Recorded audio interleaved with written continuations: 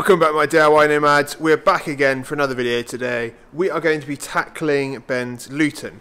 Um, it's now Saturday. We've got I've got about oh god the exposure. Uh, I've got about four hours before I need to get out of here. So what we're going to try and do is get the box on the back of the Luton um, and make this a Luton again.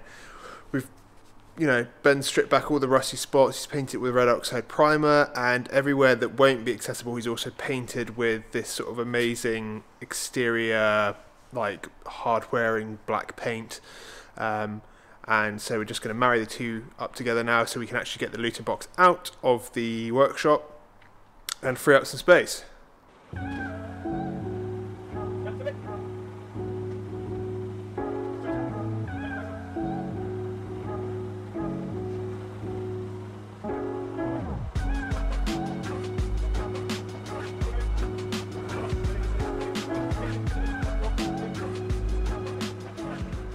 Box is on. We're super stoked with the results.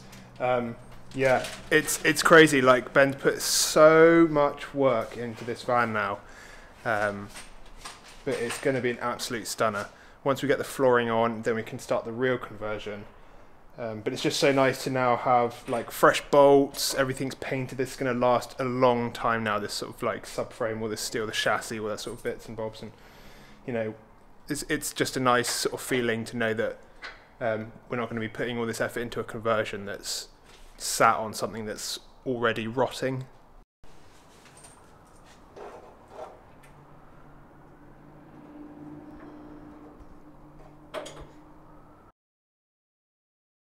Right, I am back at the workshop. From now on, I will be going in sort of basically daily back to the workshop.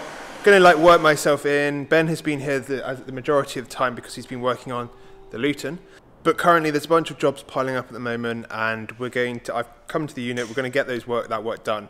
Me and Ben are going to keep a safe distance, but you know we're still going to use the space. Anyway, I wanted to give you guys a quick update on Ben's Luton because he has come a long, long way since the last time you saw it.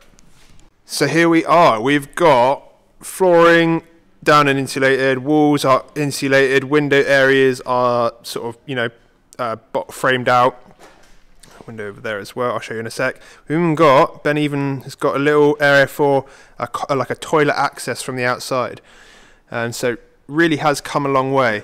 There's now the wooden uh, the wooden beams across the roof. That's basically the top of those is where the the, the actual next roof is going to be because we're going to remove the fiberglass roof, and I'll show you over there over there as well. The front is coming off and being replaced. So a decent sized window. So we've got um, 45, well, 450 by 450 mil window there, and then and then this window is basically two of those windows from over there stacked on top of each other. So it's 450 by 900. If you've been following me on Instagram as well, you would have seen me put up a picture in relation to what this is. Basically, Ben has doubled up doubled up these uh, these beams, and he's extended it past here, past this uh, front, which I'll show you in a second using a cantil- using a cantilever system with aluminium extrusion, and up there is going to be our double bed area. I say our. This is Ben's van. It's going to be the double bed area. So this is the uh, this is the outside part. So this front will come off, be extended up to here, and that'll be the bed area. Now, obviously, we have missed out some filming in regards getting from where it was before that where I showed you guys to here. But Ben did actually film some stuff while he was here and I was away, and uh, I'll put those clips up now. Welcome back, my DIY nomads. so, I've done all the installation, and I've left out where I'm going to put windows. That's where the toilet waste access is going to be.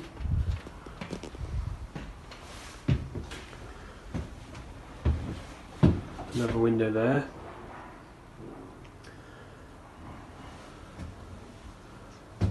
And hopefully today I'm going to get my aluminium extrusion so I can extend the front of the cab. So I'll take all that out, that fiberglass. I'm going to build the roof underneath the existing fiberglass roof. And when that's built in place I can then take the fiberglass off and these metal rails. So I've cut this top hat profile section out because that's going to be a window. And the same over here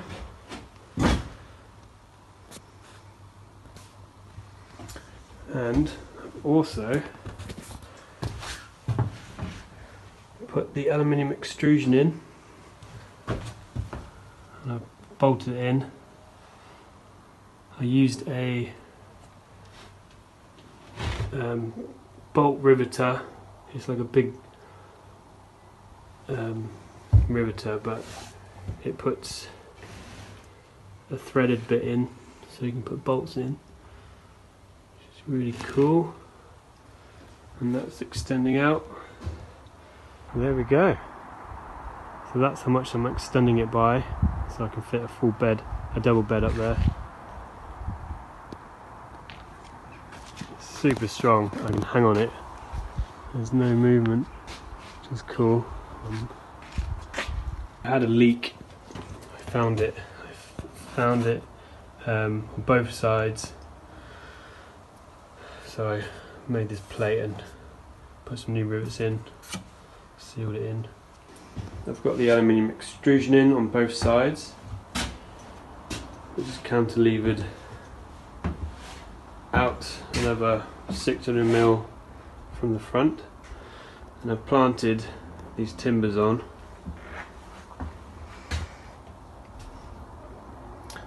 So the actual the, the side of the box was actually bellowing bellying out um, on both sides roughly 30 mil more than it was supposed to. So now I've put this timber in and bolt it through the timber into the aluminium and I've pulled it in. So now it's gone back to where it would have been originally